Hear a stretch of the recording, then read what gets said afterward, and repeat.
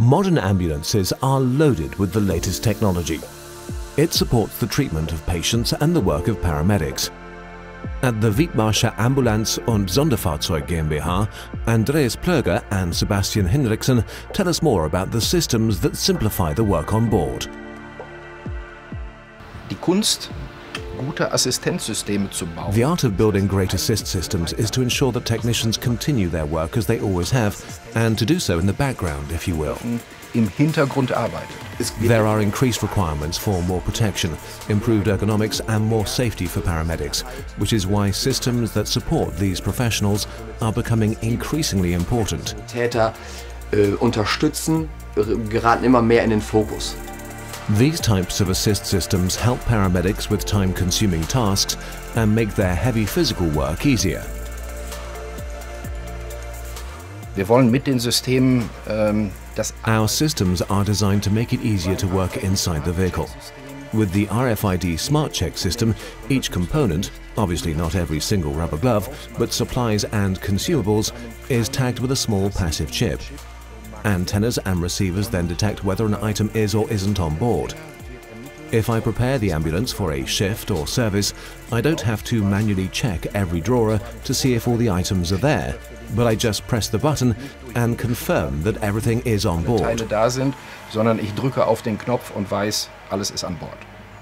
The SandSafe system is an additional disinfection system that we offer. It's based on H2O2. After an ambulance transport, I close the doors and press a button, which triggers the disinfection cycle. The ambulance is fully disinfected within 30 to 40 minutes. Zyklus und nach ungefähr 30 bis 40 Minuten ist das Fahrzeug komplett desinfiziert. Das Multiload Assist The multi-load assist system features a self-loading mechanism.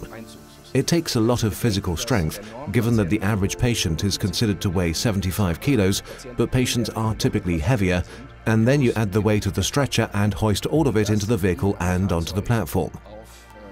The multi-load is an electrical system that supports this loading process. Uh, Ist ein äh, elektrisches System, was diesen Einzug äh, unterstützt. Wir haben das WAS Door We also have the WAS Door Assist system, which helps in closing and opening the doors. Now, paramedics no longer have to use full force to close the doors, which used to add to the wear and tear of the doors and locking mechanism. It also significantly reduces the noise level and thus relieves the stress level of the patient inside the ambulance. wesentlich reduziert wird, somit der Stressfaktor für den Patienten im Fahrzeug reduziert wird. Ambulances will continue to undergo changes in the future, adapt to new settings and affect the work of paramedics. The vehicles adapt to the respective emergency guidelines or concepts. There will be data transfers to prepare the hospital for the patient's arrival.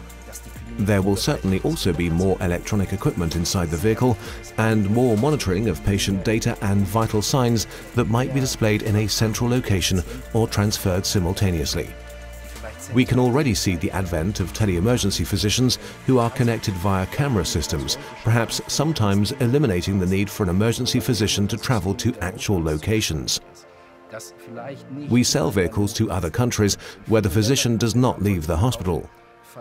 The ambulance must be ready for these types of settings, of course. muss natürlich der Rettungswagen darauf vorbereitet sein. Im Augenblick sind wir in einer Phase, Right now, we're in a phase where more and more medical equipment needs to be on board. Um we are slowly reaching the limits of vehicle capacity in terms of weight.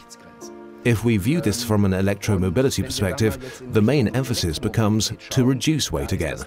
This means we are once again at a crossroads where we must determine what we can remove from the ambulance while still rendering the necessary services.